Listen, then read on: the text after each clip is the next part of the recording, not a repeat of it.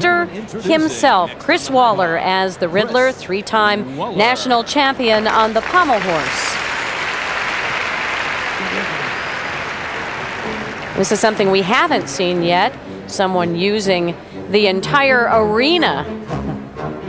I talked to Chris before the event, and uh, he said he had tried to practice looking as gangly and skinny as, as Jim Carrey in The Riddler, but his shoulders are about twice as broad. It just doesn't work. and you'll never see Jim Carrey do that.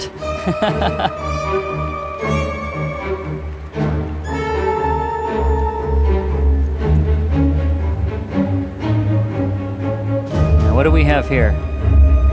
Ah, straight from the movie. Let's see if he can influence the judges, maybe.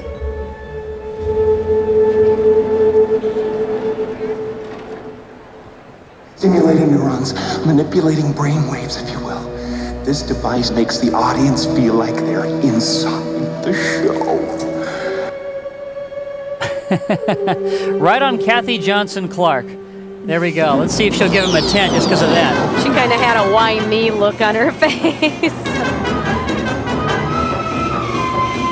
now, this is horizontal bar. He hasn't got there yet, but eventually he'll get there. Let's see what happens now. Chris must just be having a great time because he's always been a very emotional performer. Probably one of the most artistic gymnasts we've ever had. He's uh, he really tries to perform well. He looks good out there. Uh, always aware of not just the skills he's doing, but how he looks doing the skills. And he's a great high bar man, so let's watch him do this. Nice one-arm sequence. Look at that. Stalder. He does a number of release moves in normal competition. Let's see what he does with his outfit on here. A nice Tkachev laced together. Setting up for another Tkachev. Right into a Gienger, flyaway half turn. This is state-of-the-art gymnastics here. Now let's see what happens. Pirouette over the bar. Here he goes. Winding up for a dismount. It's a double dizzy double backflip. Not a bad landing. And look at that, still in character. It's amazing to me to see how these guys are staying in character. And it looks like he's going to go out the same way he arrived. and he's done. There we go. Nicely done. Gentlemen, Chris Waller.